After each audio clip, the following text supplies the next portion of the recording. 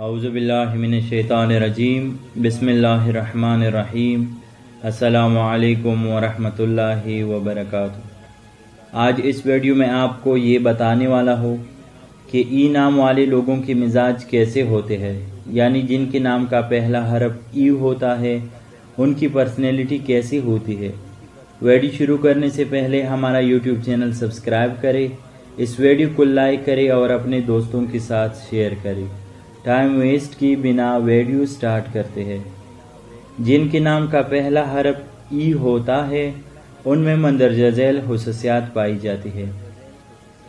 ई नाम वाले लोग बेचैन सोच बोझ रखने वाले और अच्छी प्लानिंग वाले होते हैं।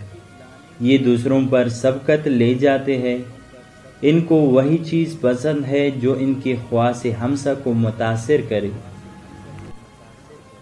वो अपने काम पर किसी की तनकीद या एतराज़ पसंद नहीं करते। ई नाम वाले मज़बूत इरादे वाले होते हैं। वो तरक्की करने की ज़बरदस्त ख्वाहिश रखते हैं। इनका हर नया दिन उमंगों और वलवलों का दिन होता है।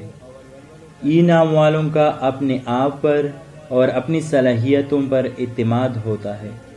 इनके अंदर मुहिम जुई का जज्बा होता है।